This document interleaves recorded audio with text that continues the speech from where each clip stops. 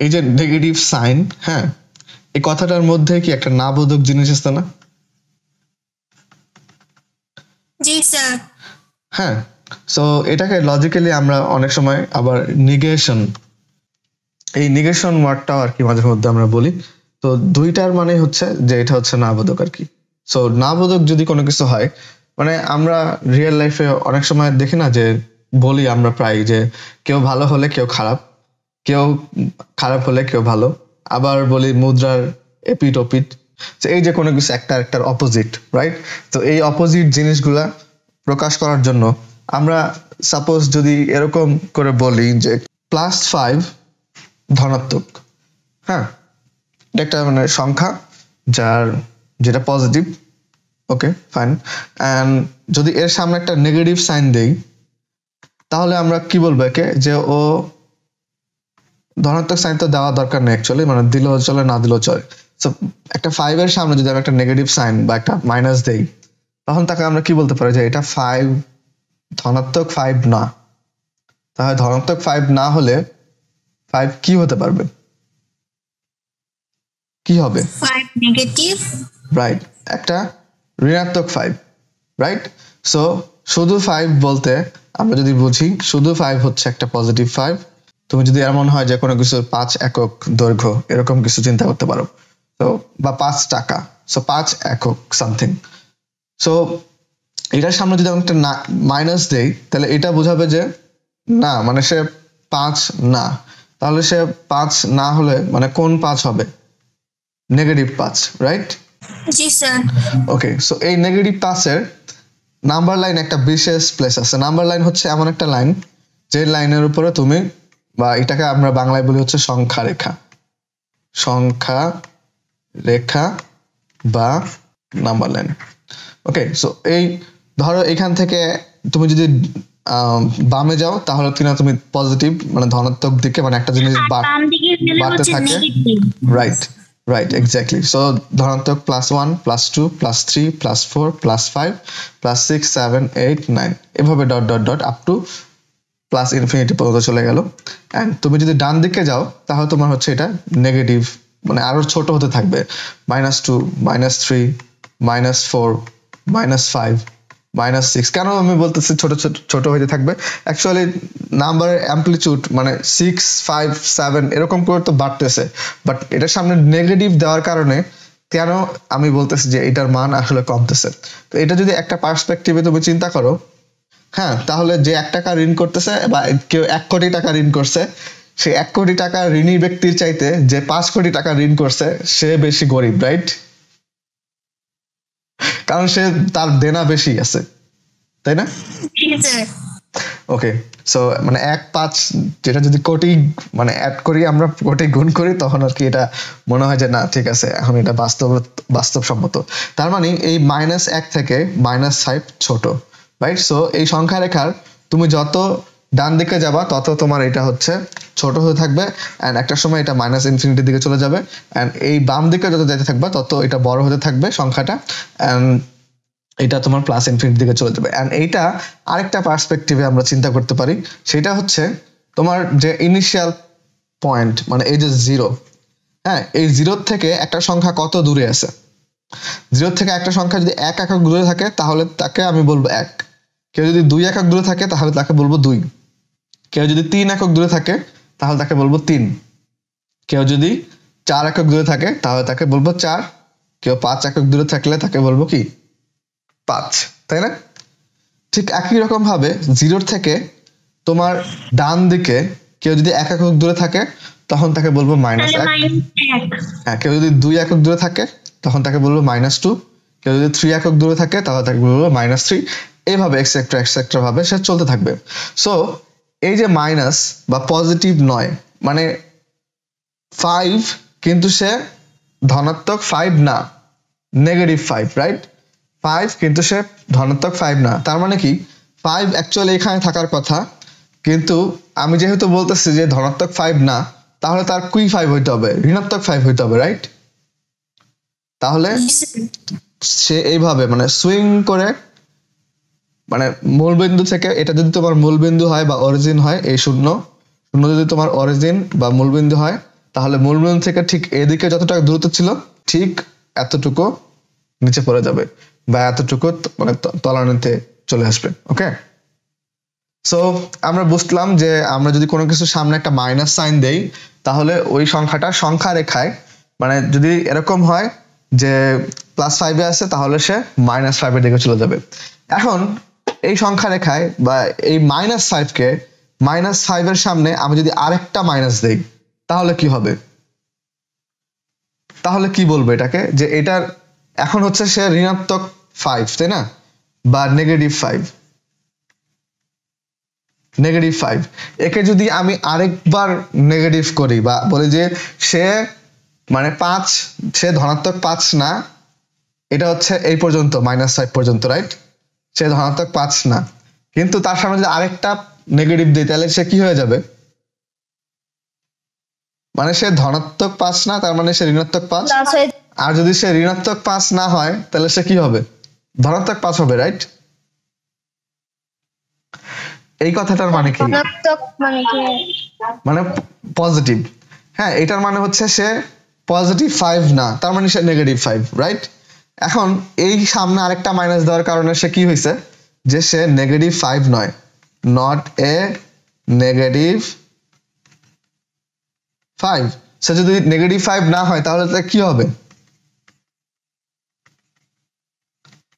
Positive five right so এই যে কোন একটা কিছুর সামনে আমরা যে মাইনাস আনতেছি এই মাইনাস দিয়ে আমরা হচ্ছে আর্গুমেন্ট করতেছি যে সে কি তার অবস্থানটা কি সে কি পজিটিভ নাকি নেগেটিভ সে পজিটিভ হলে কেমন সে নেগেটিভ হলে কেমন?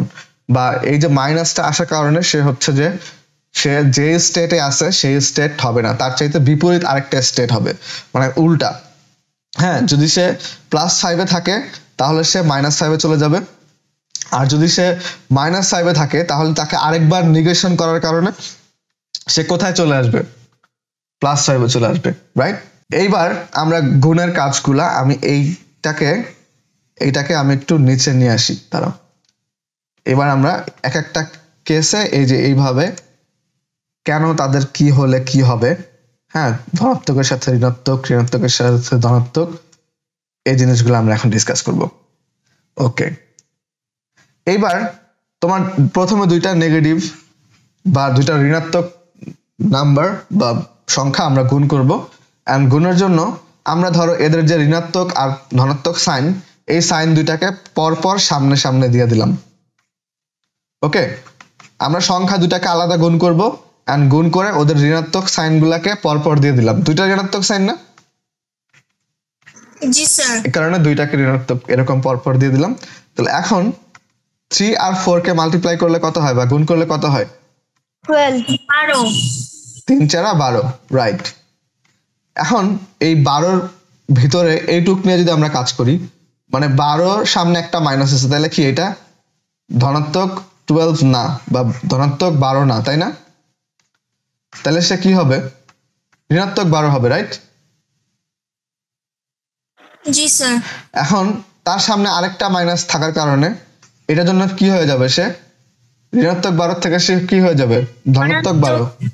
বা পজিটিভ বারো রাইট সো পজিটিভ সাইন না দিলেও চলে। একটা সং- একটা নাম্বারের সামনে তোমার পজিটিভ সাইন দেওয়া যা না দেওয়া যা যদি না দাও তাইলেও বোঝায় সেটা পজিটিভ নাম্বার আর যদি দাও তাইলেও বোঝায় সেটা পজিটিভ নাম্বার ওকে তাহলে আমরা কি দেখলাম? যে আমরা দুইটা নেগেটিভ নাম্বার যদি আমরা মাল্টিপ্লাই করি তাহলে আমরা কি পাবো? একটা পজিটিভ নাম্বার আউটপুট পাবো তাই না?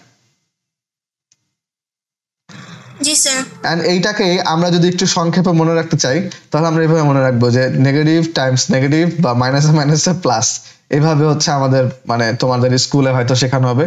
কিন্তু এই যে আর্গুমেন্টটা এই যে লজিক এই লজিক্যালি তোমাদেরকে শেখানো হবে না। তবে তোমরা মানে ফিউচার লাইফে যদি কাউকে শেখাও হ্যাঁ তোমাদেরও হয়তো স্টুডেন্ট আসবে, তোমাদের ছোট ভাই বোন থাকতে পারে হ্যাঁ ওদেরকে যখন শেখাবা, তখন তোমরা এই শুরুর থেকে এই যে লজিক্যাল ব্যাপারটা এইটা থেকে শুরু করবে হ্যাঁ? যে নেগেটিভ মানে হচ্ছে না বোধক মানে সে যেটা না বলতেছি তাহলে সে ওইটা না। তাহলে ওইটা না হলে কোনটা হবে? তার বিপরীতটা হবে রাইট ওকে সো আমরা কি পেলাম যে তার দুইটা নেগেটিভ মাইনাসে মাইনাসে কি হবে? প্লাস আর প্লাস প্লাস প্লাস হচ্ছে মাইনাস না। প্লাস প্লাসের জন্য মানে আমরা ধর দুইটা মানুষ যদি বলে যে সে ভালো and মানে ধরো আহ, আমরা এখন জায়নাকে বলব যে জায়না কেমন? ফারজানও বলল জায়না ভালো আমিও বললাম জায়না ভালো। সো আমরা যদি দুজনেই বলি যে জায়না ভালো। তাহলে কি জায়না তো ভালোই রাইট জায়নার স্টেটে কোনো চেঞ্জ হবে? জায়নার স্টেটে কিন্তু কোনো চেঞ্জ হবে না। যখন আমরা কোনো কিছু হ্যাঁ বোধক হয় তখন কিন্তু সেটা চেঞ্জ হয় না। চেঞ্জ হয়? না। চেঞ্জ হয় না? ঠিক আছে? সো যদি তোমার, যদিও দুইবার পজিটিভ আসতে মানে দাও এখানে, এইটাকে আমরা এরকম যে দুইটা নাম্বারকে আলাদা গুণ করলাম, আলাদা গুণ করে তার সামনে দুইটা পজিটিভ সাইন দিলাম। এই মানে পজিটিভ সাইনটা কি বলতেছে যে তিন চারা বারো হ্যাঁ ও বারো। এটা কি বলতেছে যে হ্যাঁ ও বারো। রাইট এই পজিটিভ সাইনটা কি বলতেছে? যে হ্যাঁ ও বারো। তাই না? মানে পজিটিভ মানে যদি হ্যাঁ হয় আর নেগেটিভ মানে যদি না হয়, তাহলে এর সামনে প্লাস সাইনটা এটা কি বলতেছে যে হ্যাঁ ও বারো। তাহলে ও বারোই থাকবে রাইট আর তারপর আরেকটা পজিটিভ সাইন ওইটাও কি বলব যে হ্যাঁ ও বারো। মানে ব্যাপারটা এমন যে তুমি ভেস্তের দরজায় গেছো আর তোমার হচ্ছে তোমার আইডেন্টিফিকেশন দিতেছো হ্যাঁ? তো এখন যে ওখানে দুইটা গার্ড আছে অ্যান্ড গার্ডরা যদি বলে যে মানে গার্ডরা মানে ধরো দুইজন কেউ দাঁড়ায় আছে, যারা তোমাদেরকে চিহ্নিত করবে যে হ্যাঁ এই সেই লোক। মানে এইটাই অনামিকা। মানে বলবে যে প্রথম জন বলবে যদি বলে যে হ্যাঁ এইটাই অনামিকা, তাহলে হ্যাঁ অনামিকা ঢুকে ঢুকতে দেওয়া হবে। এরপরে আবার আরেকজন বলল আয়সা গার্ড জিজ্ঞেস করল যে হ্যাঁ এ সে কি অনামিকা? আর ওরা বলল যে হ্যাঁ এ অনামিকা, তাহলে তাকে ঢুকতে দেওয়া হলো। তাহলে কি এই অনামিকার স্টেটে কোনো চেঞ্জ হইল? কিন্তু এটা যদি না বোধক হইতো, তাহলে কি হইতো? ঘুরে দিত যে সে অনামিকা না, সে অনামিকা না হলে সে কে? অনামিকা উল্টা কিছু রাইট সো নেগেটিভ সাইন থাকলে সবসময় তোমার কোন একটা সংখ্যার সাইন চেঞ্জ হবে। আদারওয়াইজ সাইন চেঞ্জ হবে না ওকে যদি দুইটা ধনাত্মক সংখ্যা হয়, তাহলে সেটা কি আসবে? ধনাত্মককে আউটপুট দিবে ওকে দুইটা ধনাত্মক সংখ্যার গুণফল সবসময় কি হবে? ধনাত্মক হবে। সো প্লাসে প্লাসে প্লাসে প্লাসে এটাকে কি বলতে পারি? শর্টকাটে প্লাস রাইট জি স্যার জি sir okay Farzan yes sir আচ্ছা এইবার আমরা এই উপরের দুইটা আর্গুমেন্ট টেস্ট করি। তো এখানে সেম আবার আমরা তিন আর চারকে আলাদা নিব। আর নেওয়ার পরে চারের সামনে মাইনাস আছে, তাহলে মাইনাসটাকে আগে দিব অ্যান্ড দেন প্লাসটাকে দিব। এটা ইট ডাজেন্ট ম্যাটার হ্যাঁ কাকে আগে দিলাম আর কাকে, ধরো প্লাসটাকে আগে দিলাম অ্যান্ড মাইনাসটাকে পরে দিলাম। ইট ডাজেন্ট ম্যাটার মানে দুইটাই তোমার সেম রেজাল্ট দিবে। তোমার তিন আর চারকে গুণ করলে হয় বারো। অ্যান্ড তার সামনে একটা মাইনাস চিহ্ন থাকার কারণে আমার আউটপুটটা কি আসবে? যে, সে বারো না। সে বারো না হলে তাহলে কি কি হবে? মাইনাস বারো হবে রাইট জি স্যার। আচ্ছা এরপরে প্লাস সাইন তো কারও কিছু চেঞ্জ করে না চেঞ্জ করে? মানে প্লাস প্লাসের কাছে জিজ্ঞেস করা হয়েছে যে সে কি নেগেটিভ বারো? প্লাস বলতেছে হ্যাঁ সে নেগেটিভ বারো। তাহলে আউটপুটটা কি আসবে? নেগেটিভ বারোই আসবে রাইট জি স্যার। সো এটাকে শর্টকাটে যদি আমরা মনে রাখতে চাই, তাহলে আমরা কি কীভাবে মনে রাখতে পারি? যে একটা পজিটিভ নাম্বার বা প্লাসে মাইনাসে প্লাসে মাইনাসে মাইনাস ওকে প্লাসে মাইনাসে মাইনাস অ্যান্ড দেন এই তিন নাম্বারটা এটার জন্য তোমার পুরো দুই নাম্বারের মতো করে জাস্ট তুমি যদি লেখো, ধরো আমরা এখানে প্লাসের জায়গায় মাইনাস দিলাম আর মাইনাসের জায়গায় প্লাস দিলাম। এছাড়া তো সব সেম রাইট একটা প্লাস সাইন আছে, একটা মাইনাস সাইন আছে। তাহলে তিন, চারা বারো অ্যান্ড ফার্স্ট ফার্স্ট প্লাস প্লাসকে জিজ্ঞেস করা হলো যে সে কি বারো? অ্যান্ড সে বলল হ্যাঁ সে বারো। তাহলে বারোই আসলো। অ্যান্ড দেন মাইনাসকে জিজ্ঞেস করা হলো যে সে কি বারো? মাইনাস বলল যে না, সে বারো না। তাহলে সে কি? মাইনাস বারো রাইট তাহলে আউটপুটটা কি আসলো? নেগেটিভে আসলো, তাই না? তার মানে কি দেখলাম আমরা? যে একটা নেগেটিভ নাম্বারকে আরেকটা পজিটিভ নাম্বার দিয়ে মাল্টিপ্লাই করলে আমরা কি পাবো? অলওয়েজ নেগেটিভ রেজাল্টই পাবো। এখন এইটার একটু তুমি যদি শর্টকাট মনে রাখার চেষ্টা করো এরকম যে যদি সেম সাইন হয় দেখো আইদার দুইটাই পজিটিভ আর দুইটাই নেগেটিভ যদি সেম সেম হয় তোমার রেজাল্টটা পজিটিভ আসে তাই না? আর যদি একটা আরেকটার বিপরীত হয় সাপোজ একটা প্লাস আরেকটা মাইনাস তাহলে তোমার রেজাল্টটা কি আসে?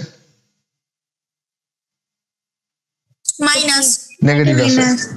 সো এটাকে আমরা মনে রাখতে পারব? সো তুমি এই যে মাইনাসে প্লাসে মাইনাস প্লাসে মাইনাসে মাইনাস এগুলো তুমি কখন অ্যাপ্লাই করবা?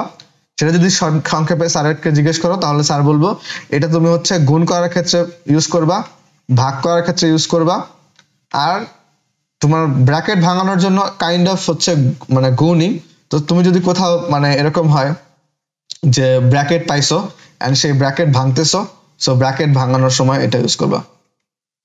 ভাঙানো বা কমন নেওয়ার সময় এগুলো আসবে, ঠিক আছে? এগুলো কখন ব্যবহার করবা? গুণ করার সময়, ভাগ করার সময়, বা ব্র্যাকেট ভাঙাও বা কমন নাও। তোমরা কমন নেওয়াটা এখনও শেখো নাই সো এটা জাস্ট নোট করে রাখো। পরে যখন শিখবা, তখন আর কি বুঝ- যাবে আর কি স্যার কি বলতে যাচ্ছে। আপাতত ব্র্যাকেট ভাঙানো।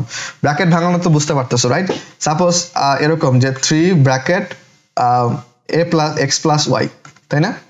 তখন আমরা কি করি? থ্রি দিয়ে এক্স কে গুণ করতে চা- গুণ করতে হয়, তাই না? তাহলে থ্রি এক্স হয়, আবার থ্রি দিয়ে ওয়াই কে গুণ করতে হয়, তখন আবার কি হয়? থ্রি ওয়াই হয়। এই যে দুইটা সাইন এখানে যে প্লাস আসলো, এই প্লাসে প্লাসে প্লাস হ্যাঁ? এই তখন হচ্ছে তোমার এই যে প্লাস প্লাসে প্লাস বা গুণের রুলসটা আসে, বা এই যে প্লাসে প্লাসে প্লাস তখন এই সাইনটা প্লাস হয়। ওটার কারণে। যাই হোক, এগুলো আমরা আস্তে আস্তে শিখব হ্যাঁ?